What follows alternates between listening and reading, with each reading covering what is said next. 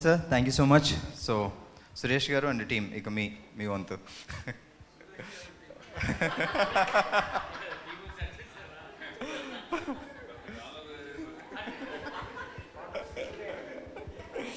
Sir ముందు మీరేనా okay, అందుకే ఆయనే తీసుకుంటున్నారు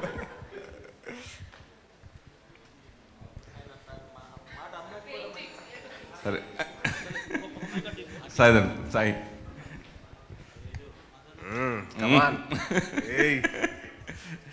అంటే మన సినిమా కోసం ఎంతో కష్టపడతాం దాని పెర్ఫార్మెన్స్ కోసం చేస్తాం. అయితే పర్టికులర్గా యాక్షన్ తర్వాత నాకు మాటలు సరిగ్గా రాలేదు కొంచెం ఇబ్బంది పడ్డాను అట్లా అని మీరు ఇంతకుముందు మీడియాలో అంతా చెప్పారు కాబట్టి అడుగుతున్నా వచ్చును యాక్టింగ్ పరంగా ఎంత అద్భుతం చేసినా డబ్బింగ్లో దాన్ని కవర్ చేయాలి. డబ్బింగ్ చెప్పేటప్పుడు మీరు అట్లాంటి కష్టం యాక్టింగ్ కంటే ఎక్కువ కష్టపడాల్సి వచ్చిందా ఈ సినిమాకి అని అడిగితే? అంటే డెఫినెట్లీ అండి. దాని తగ్గట్టు మేము యాక్ట్ చేయాలి దాని తగ్గట్టు మేము పర్ఫామ్ చేయాలంటే డబ్బింగ్ కూడా వచ్చేసరికి I have to perform the whole scene again మొత్తం సీన్ మళ్ళీ చేయాలి. యాక్ట్ చేయాలి కాబట్టి అది ఒక ఆర్ట్ కాబట్టి దాని తగ్గట్టు మేము చేసాం నేను కష్టపడడం అనేది ప్రేమ పొందుతాను కదా ఆడియన్సెస్ నుంచి. సో దాని తగ్గట్టు మేము కష్టపడ్డాం. అంతే. అదొకటే గుర్తొచ్చింది తప్పించి ఇంకేం గుర్తురావట్లేదండి. అంటే డైలాగ్ చెప్పడంలో కొంచెం కష్టంగా అని ఫీల్ అదే లేదండి. ఇష్టంతో చేశాను. ప్రేమతో చేశాను. అసలు విరూపక్ష అనగానే ఇట్స్ ఎ ఫ్యామిలీ సినిమా సడన్గా ఈ సినిమాకి ఏ సర్టిఫికేట్ ఏంటి అని ఆశ్చర్యపోయాం. ఈ సినిమాకి సెన్సార్ అయిన తర్వాత. ఏ సర్టిఫికేట్ రావడానికి కారణం మీరు సంయుక్త మీన రొమాన్స్ సీన్సా? లేదంటే సినిమాలు ఏమైనా భయపడే సన్నివేశాలు పెట్టారా? సార్ మీరు తప్పుగా అనుకోకపోతే రొమాన్స్ సీన్స్ ఉంటే చెప్పండి పర్వాలేదు. ఎందుకు మీరు వస్తారా టికెట్? Romance scenes. వస్తారు తెలుసు. అబ్బా మీకు చాలా గ్యాప్ వచ్చింది అనుకుంటా తప్పండి అంత గ్యాప్ రాకూడదు. పైగా మీరు వయసులో ఉన్నారు. పక్కన అమ్మాయి ఉంది. మీకా? మీకు పక్కన అమ్మ- ఎప్పుడు అమ్మాయిలే ఉంటారు? అర్థమైపోయింది. సురేష్ గారు కరెక్ట్గా చెప్పాలంటే ఈ సినిమాలో మీరు అనుకున్నట్టు ఆ సినిమా కాదండి. This a film which will definitely exciting ఆ ఎక్సైట్మెంట్ కాదు. మీరు అడిగి అడిగారు కాబట్టి చెప్పాల్సి వస్తుంది. డెఫినెట్లీ ఒకటండి. ఈ సినిమా మటుకు అందరు ఫ్యామిలీస్ వచ్చి చూడొచ్చు. అంటే ఏ సర్టిఫికేట్ ఎందుకు ఇచ్చారని అడుగుతానా? తప్పు. అది మా డైరెక్టర్ చెప్తారండి so there are spine chilling elements in the film and అంటే కొన్ని కొన్ని సీన్లో మనకి ఒళ్ళు జలధరించి చూసే సీన్స్ ఉన్నాయి. అండ్ ఆల్సో కొన్ని గోరే సీన్స్ కూడా ఉన్నాయి. ఫర్ దాట్ యూనో సెన్స్ ఇప్పుడు ఏ సర్టిఫికేట్ మా మగధీరాకు వచ్చింది? అది ఏమన్నా దాంట్లో ఉన్నాయా? కాదు కాదండి. వచ్చిన దాని గురించి అడుగుతున్నా సార్. దాంట్లో ఉన్నాయంటే?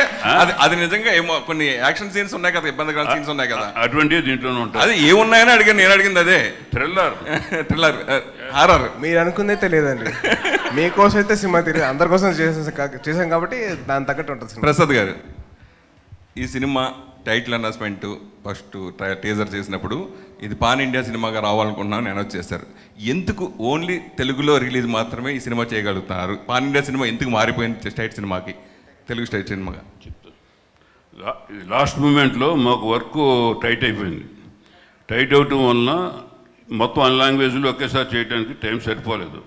నెక్స్ట్ వీక్ అన్నీ చేస్తున్నాం. దాని దీని దీని మీద ఇంపార్టెంట్ టైం స్పెండ్ చేయాలి కాబట్టి దీనికోసం స్పేస్ మొత్తం సంయుక్తమైన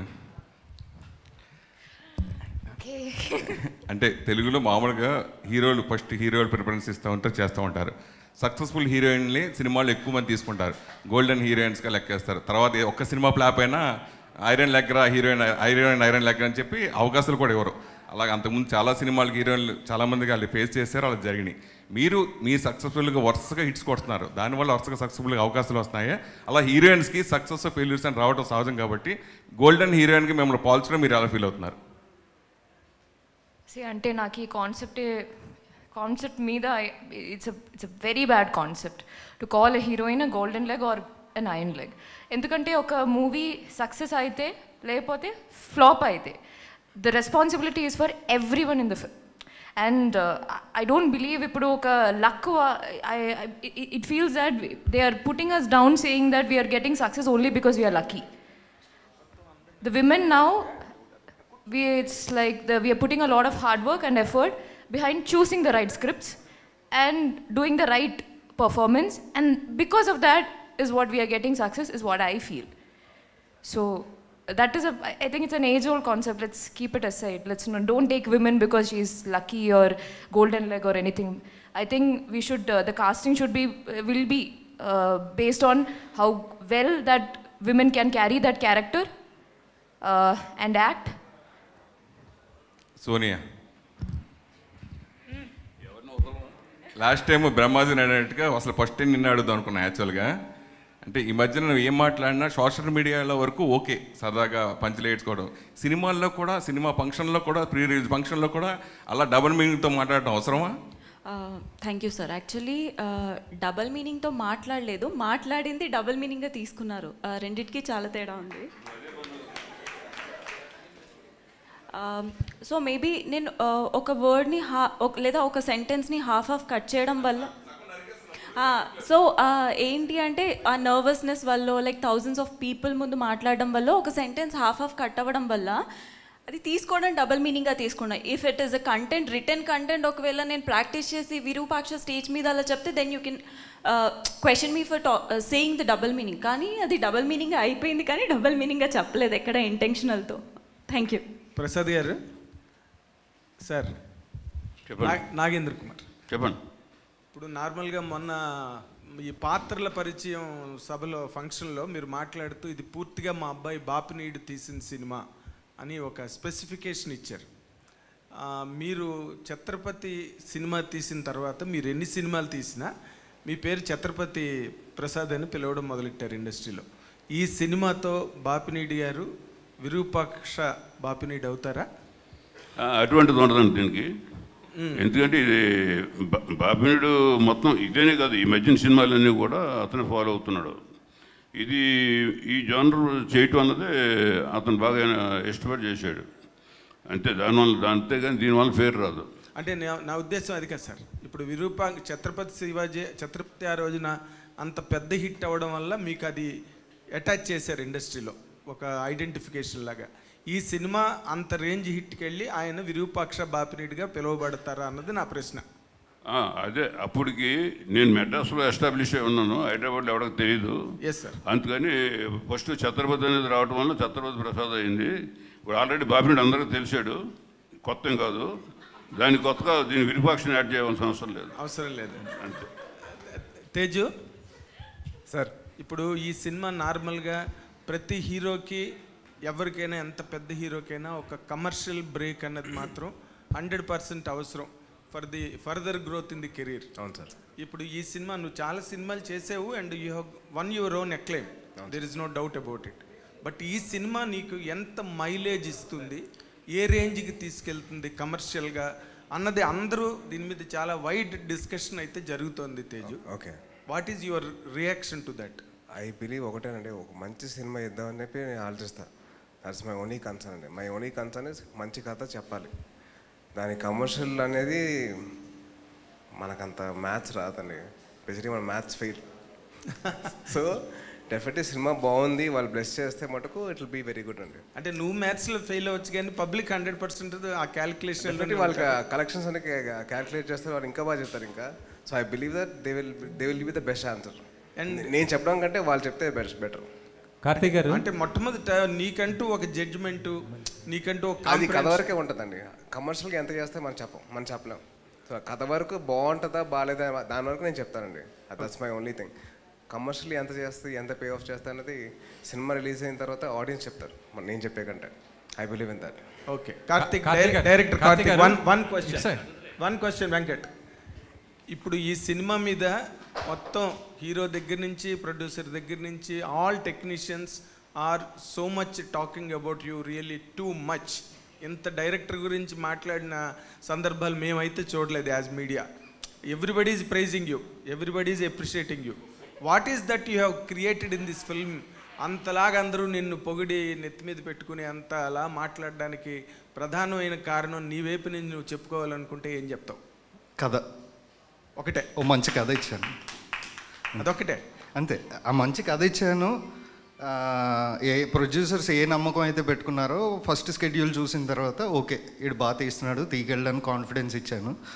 అండ్ టెక్నీషియన్స్కి సేమ్ సేమ్ ఇంపాక్ట్. లైక్ ఏదైతే అంటే ఎప్పుడైనా టెక్నీషియన్స్కి ఒక కొత్త కథ ఇచ్చినప్పుడు వాళ్ళు ఎక్సైట్ అవుతారండి. బికాజ్ వాళ్ళకి ప్రూవ్ చేసుకోవడానికి ఇంకొక యాంగిల్ దొరుకుతుంది.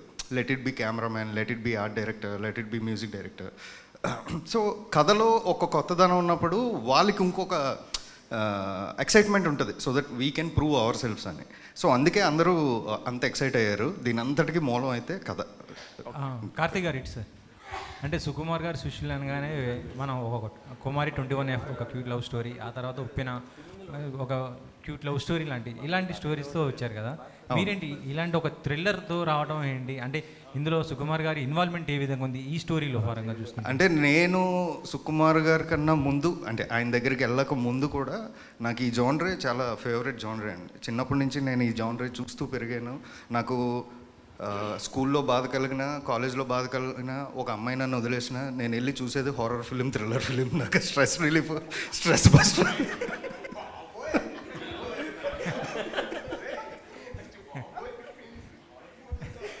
నాకు ఇష్టం సార్ అది చిన్నప్పటి నుంచి. సో ఈ నన్ను ఎంటర్టైన్ చేసిన ఈ జానర్కి నేను రుణం తీర్చుకుంటున్నా.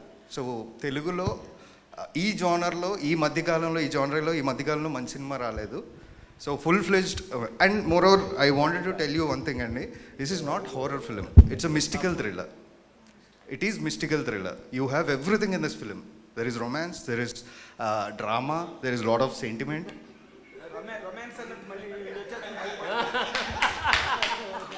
Suresh garu మీరు ఏమనుకోద్దు ఇందాక రెండు క్వశ్చన్స్ అడిగారు కదా.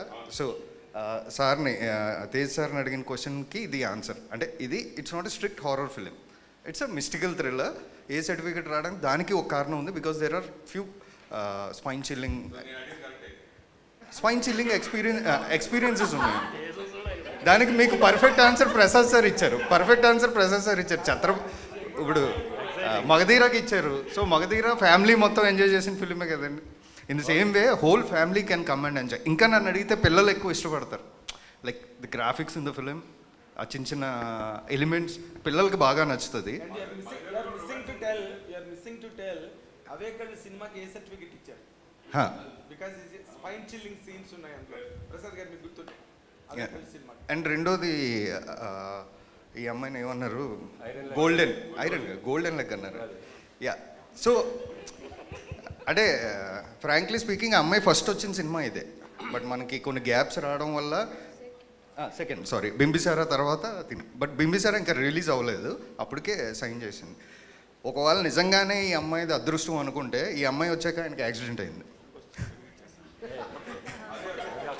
మై క్వశ్చన్ టు సో ఇక్కడ నేను చెప్పాలనుకున్న పాయింట్ ఏంటంటే they is nothing like golden leg and iron leg so ఆ అమ్మాయి చూస్ చేసుకున్న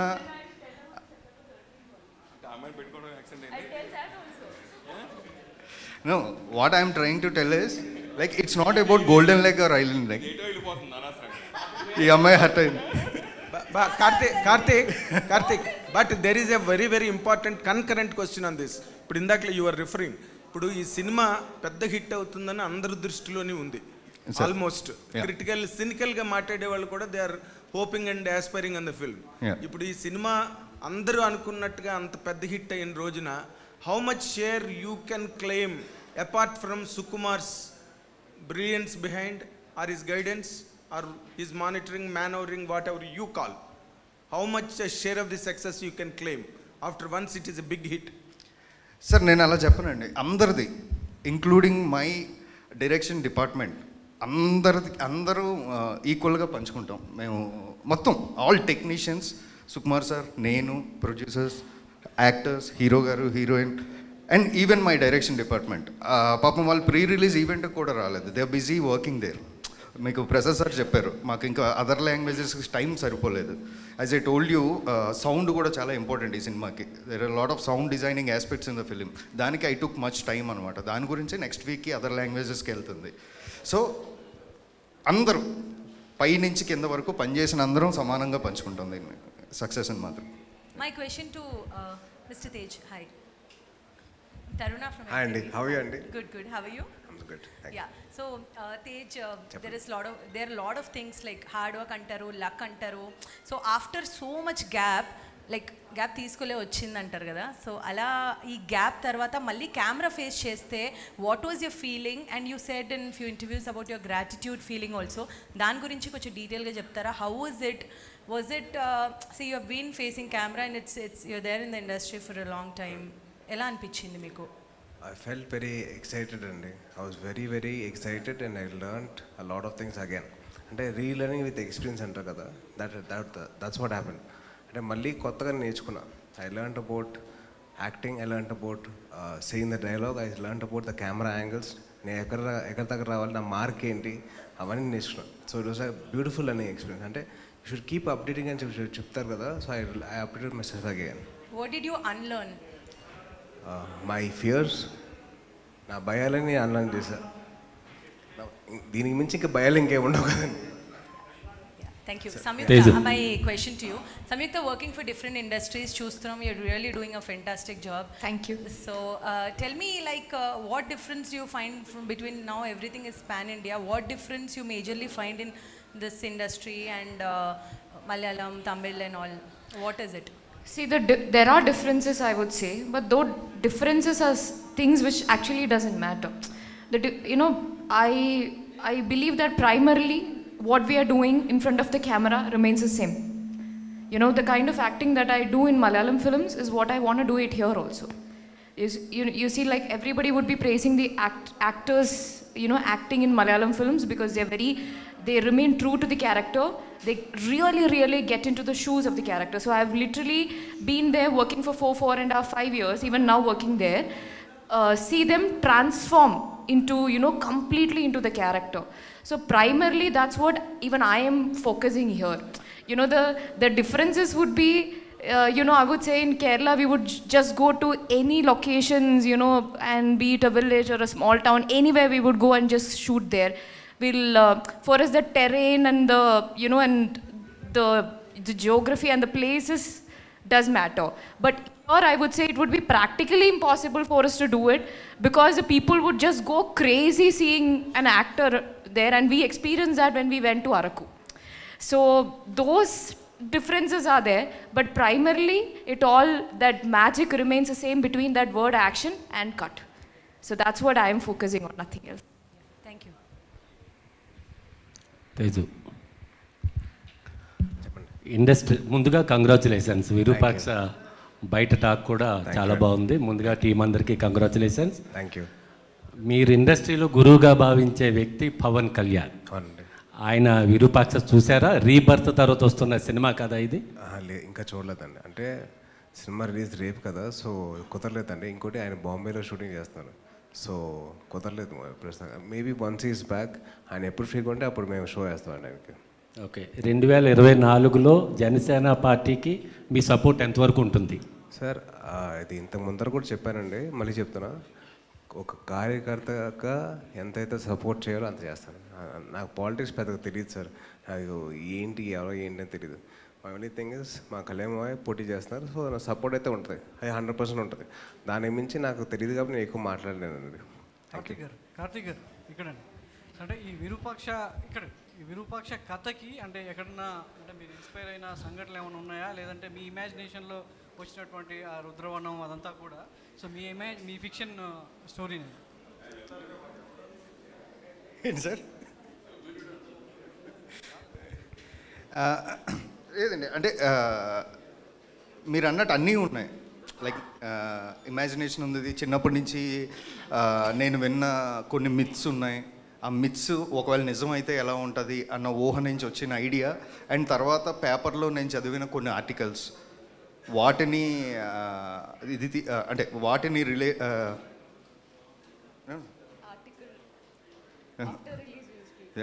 I'm more conscious than you do మరి సో ఏమన్నా స్పాయిలర్ ఇస్తానేమో అని ముందే. So yeah as you said it's mix of everything and there are few things which inspired me and few myths దాని నుంచి ఒకవేళ ఆ మిత్స్ నిజమైతే ఏంటి? దాన్ని కథగా చేసి చెప్పొచ్చు కదా అన్న ఐడియాతో కూడా చేసిన కథ అండి ఇది. కాంతారా అనే ఒక సినిమా రిలీజ్ అయ్యి అవును సార్. రిలీజ్ అయ్యి పదిహేను ఇరవై రోజుల తర్వాత కూడా తెలుగులో అంటే ఒక సెన్సేషన్ క్రియేట్ చేసింది. అలాంటి వైబ్స్ విరూపాక్ష కూడా కనబడుతున్నాయి. ఆ టీజర్ కావచ్చు మీ అన్నీ కూడా. సో ఆఫ్టర్ రిలీజ్ తర్వాత అలాంటి సెన్సేషన్ మేము ఎక్స్పెక్ట్ చేయవచ్చు ఆడియన్స్ నుంచి ఇండస్ట్రీ నుంచి. అంటే నేను కంపేర్ చేయనండి. Kantara is a different film this is a different film but yeah డెఫినెట్గా థియేటర్ నుంచి బయటికి వెళ్ళిన తర్వాత at least one two days ఆడియన్స్కి విరూపాక్ష హ్యాంగ్ ఓవర్ ఉంటుంది. సో సుకుమార్ నుంచి వచ్చినటువంటి శిష్యులంతా కూడా ఒక్కొక్కరు వంద కోట్లు సెంచరీలు కొడుతున్నారు. సో మీరు కూడా సెంచరీ ఎక్స్పెక్ట్ చేయొచ్చు. అది రేపు జనాలు డిసైడ్ చేస్తారు. సార్ డబుల్ సెంచరీ కొడితే ఏమైనా తప్ప అండి? కొడతాం. కోరుకుంటున్నాం కొడతాం. డబుల్ సెంచరీ త- కొడతాం. డబుల్ కాకపోతే ట్రిపుల్ అవుద్ది. కాకపోతే కొట్టడం మాత్రం పక్క. కార్తీక్ గారు కార్తీక్ గారు. మీరు రాసుకున్నప్పుడు స్క్రిప్ట్ అద్భుతమైన కథ రాసుకున్నారన్నారు. ఆ అద్భుతమైన కథకి top technicians like screenplay Sukumar garu Shyam Dutt గారు ఫోటోగ్రఫీ అజనీష్ గారి మ్యూజిక్ మీకు ఏ విధంగా తోడ్పడ్డాయి? అప్పుడు రాసుకున్న కథకి ఇప్పుడు ఫైనల్ అవుట్పుట్ చూసిన తర్వాత మీకు ఎలా అనిపించింది? డెఫినెట్గానండి. అంటే బేసిక్గా సుకుమార్ గారి దగ్గరికి నేను వెళ్ళింది as a producer I approach కథ విని ఆయన కథ బాగా నచ్చి స్క్రీన్ ప్లే నేను వర్క్ చేస్తానని చెప్పి ఇట్ టుక్ సమ్ టైం ఆయనకున్న ఫ్రీ టైంలో use to sit with me అలాగా స్క్రీన్ ప్లేని డెవలప్ చేశారు. చేసిన తర్వాత దాని స్పాన్ మారిపోయిందండి మారిపోయిన తర్వాత ఈ సెట్ స్పాన్ పెద్దదైంది కాబట్టి దీనికి మంచి ప్రొడ్యూసర్ ఎక్స్పీరియన్స్ ప్రొడ్యూసర్ ఉండాలని ప్రసాద్ సార్ దగ్గర పంపించడం. అండ్ నేను మినిమం కూడా ఊహించలా. ఆయన ఏమన్నారంటే ఈ జానర్ని అన్ట్యాప్డ్ హీరో దగ్గరికి వెళ్ళాలి. సో తేజ్ ఓకేనా నీకు అన్నారు. నేను ఒకసారి ఓకే అంటారండి. నేను లీస్ట్ ఎక్స్పెక్టేషన్లో ఉంటే తేజ్ ఓకేనా అన్నారు. I said yes and Tej గారి దగ్గరికి వెళ్ళాం. యా మీరు అడిగిన దానికైతే డెఫినెట్గా విజువల్గా సౌండ్ పరంగా నేను చూసిన తర్వాత చాలా సాటిస్ఫై అయ్యానండి. అంటే నేను కథ అనుకున్నప్పుడు నెరేట్ చేసినప్పుడు ఒకటి ఎక్స్పెక్ట్ చేస్తాను. ఫైనల్ అవుట్పుట్ వచ్చినప్పుడు ఇలా ఉండాలని. దానికి టెన్ టెన్ పర్సెంట్ ఎక్కువే వచ్చింది. నేను ఊహించిన దానికి నేను ఇమాజిన్ చేసుకున్న దానికన్నా టెన్ పర్సెంట్ ఎక్కువే వచ్చింది. I'm very happy for that అంటే అందరూ each and every technician right from DOP to the editor sound పరంగా చూస్తే మ్యూజిక్ డైరెక్టర్ నుంచి నాగేంద్ర గారి ఆ, నాగేంద్ర- గారి sets and DTS mixing and also sound designer Sachin everybody I would say this is a well crafted film Prasad garu ఒక చిన్న question అండి. Clarification కావాలి. ప్రసాద్ గారు మాకు ఇప్పుడు కొన్ని రిపోర్ట్స్ వస్తున్నాయి. సినిమా ఒక నలభై కోట్లు ఖర్చు అయింది యాభై కోట్లలో. చెప్పండి. సరే సినిమాకి ఒక నలభై కోట్ల వరకు ఖర్చు అయింది యాభై కోట్లకి theatre non theatrical theatrical rights అమ్మారు అని చెప్పి మీరు టేబుల్ ప్రాఫిట్లో ఉన్నారని చెప్పి కొన్ని రిపోర్ట్స్ బయట ఉన్నాయి. అవి నిజమా కాదా? రేపు పొద్దున్న ఆఫీస్కి వస్తే ఒకసారి చూద్దాం లెక్కలు రేపు పొద్దున్న చూద్దాం సార్ రండి. సార్ బయట ఉన్న రిపోర్ట్స్ని మీరు యాక్సెప్ట్ చేస్తున్నారు. ఏదండి? బయట ఇలా వచ్చిన రిపోర్ట్. ఆ, రేపు పొద్దున్న చూద్దాం ఇంకా నేను చూడలేదు. ఎంత వచ్చింది అన్నది మీరు రేపు వస్తే ఒకసారి చెక్ చేద్దాం. తేజ్ గారు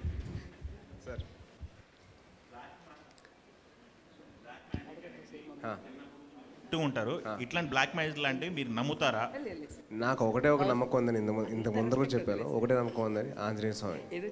నాకు ఆంజనేయ స్వామి అంటే ఒక నమ్మకం. ఆయన అంటే ఒక తెలియని ఒక ప్రేమ. ఆయన నా బెస్ట్ ఫ్రెండ్ నా ఫీలింగ్ చిన్నప్పటి నుంచి. సో నాకు మిగతా నమ్మకాలు ఏం లేవండి.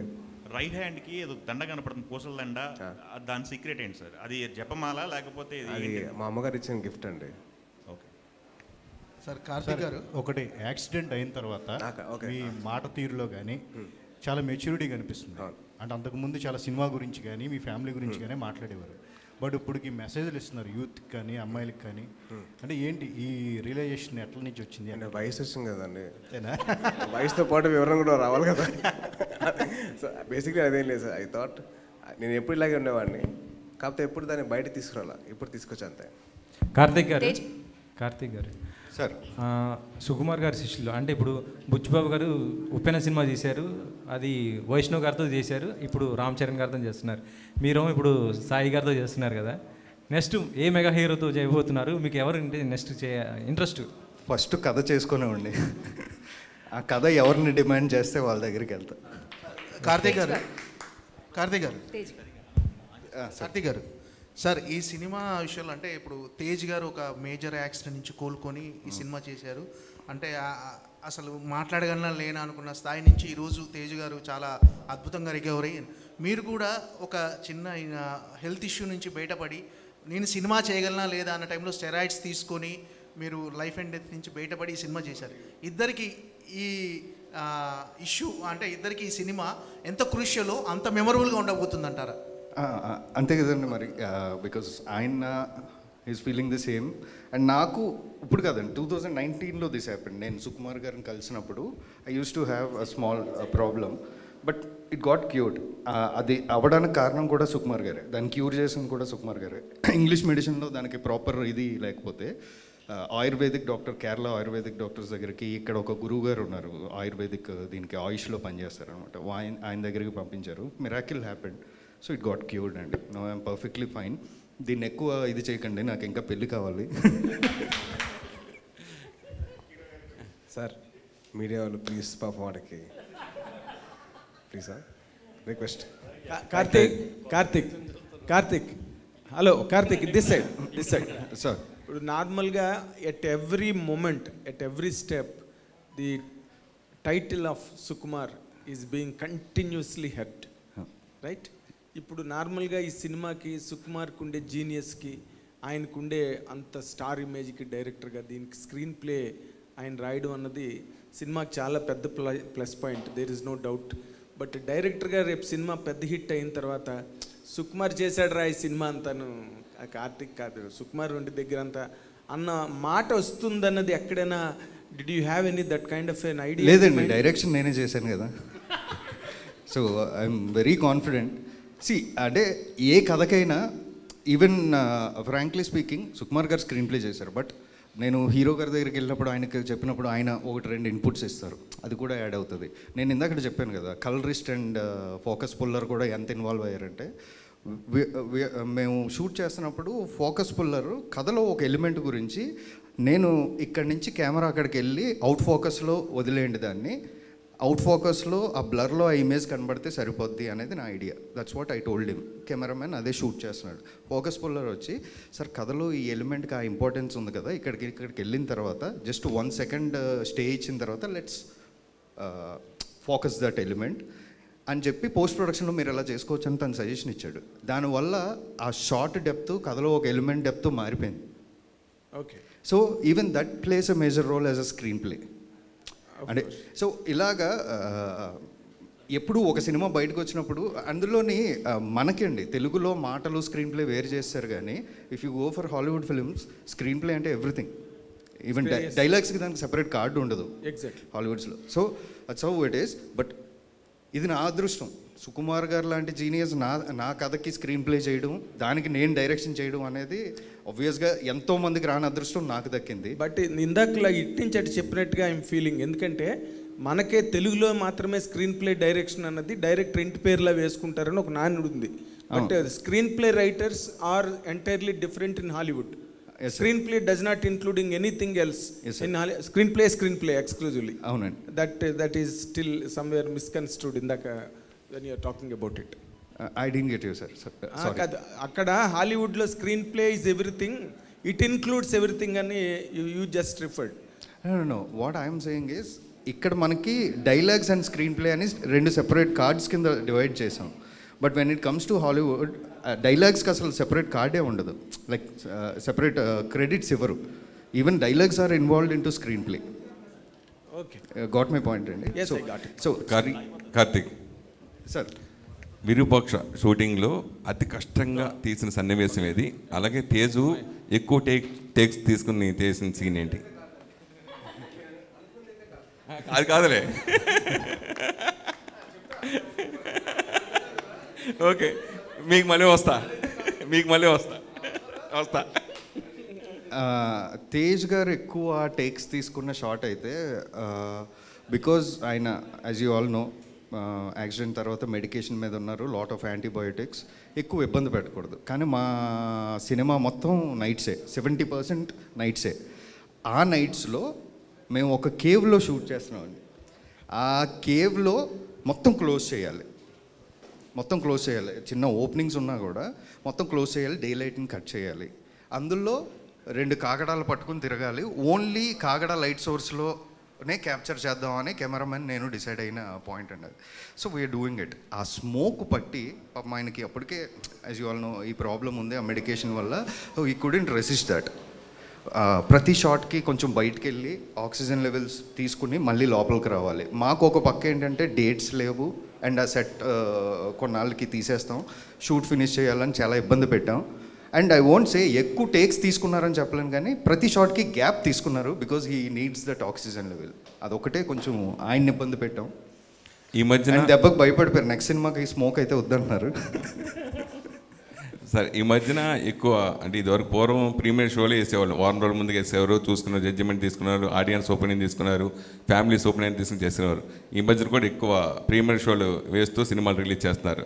మీ సినిమాకి ప్రీమియర్ షోకి ఏ పాటకు రీజన్ ఏంటి? ప్రొడ్యూసర్స్ని అడగాలి సార్. నేను నిన్నే ఫ్రీ అయ్యాను. కాపీ అప్లోడ్ చేసి రిలాక్స్ అయ్యి ఆ, ఈరోజు వచ్చి మీ అందరి ముందు కూర్చున్నాను. అందుకే ఇన్ని రోజులు రాలేదు. బట్ సార్ మనం ప్రీమియర్స్ ఎందుకు వేయలేదని అడుగుతున్నారు? నాకు టైం లేదు సార్. కా- కాపీ రావడం లేట్ అయిందన్నా? ఇదండి కాపీ రావడం కాపీ. నిన్నే రెడీ అయింది. నేను వేయటానికి కాడలేదు మీకు ఏట కాలేదా ఎస్ తేజు.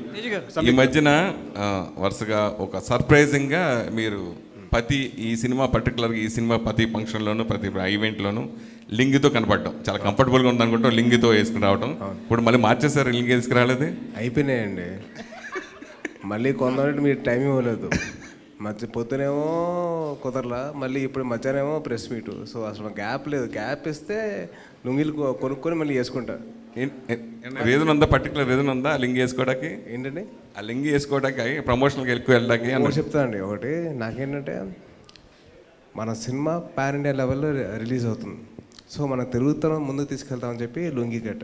అంతకుమించి ఇంకేం లేదు. That's my only thing and I want I'm representing Telugu Telugu film industry మన తెలుగు తరం ముందు తీసుకు తీసుకెళ్తాం కాబట్టి దాని తగ్గట్టు మేము బట్టలు వేసుకున్నాం. అంత తప్పించి ఇంకేం లేదు. ఇట్స్ వెరీ సింపుల్ తేజ్ గారు సో ఈ సినిమా గురించి మీరు మాట్లాడిన ప్రతిసారి. ప్రతి ఈవెంట్లో కూడా సో అమ్మ గురించి మాట్లాడుతూ అమ్మకి ఈ సినిమా అంకితం అని. చెప్తున్నారు కదా. సో ఈ ఇన్సిడెంట్ జరిగిన తర్వాత అమ్మ ఇప్పుడు అంటే మీ ప్రాణం ముఖ్యం సినిమా ఎందుకు తర్వాత చేసుకోవచ్చు కదా ముందు కోలుకొని ఒక ఐదారు సంవత్సరాలు గ్యాప్ తీసుకొని తర్వాత చేయొచ్చు కదా అని అమ్మ ఇట్లాంటి సజెషన్స్ ఏమైనా చెప్పిందా? అలా చెప్తే బాగుండేదని నా ఫీలింగ్ అండి. కానీ మా అమ్మ మొండిది? నాకంటే మొండిది. నన్ను ఇంటి నుంచి బయటకు తోసింది. వెళ్ళి పని చేయి నువ్వు ఇంట్లో ఉండదు. ఇంట్లో ఉంటే నువ్వు వంట స్టార్ట్ వంట చేయడం స్టార్ట్ చేస్తావు. నువ్వు వద్దు. నువ్వు నీ వంట నేను తినలేనురా. బయట తోసారు. So basically my mother was my inspiration అండి. She's the one who took me by my hand again మళ్ళీ నేను చిన్నపిల్లలాగా నా చేపట్టుకొని నన్ను నడిపించదు. సో మా అమ్మగారు అంటే నాకు ధైర్యం.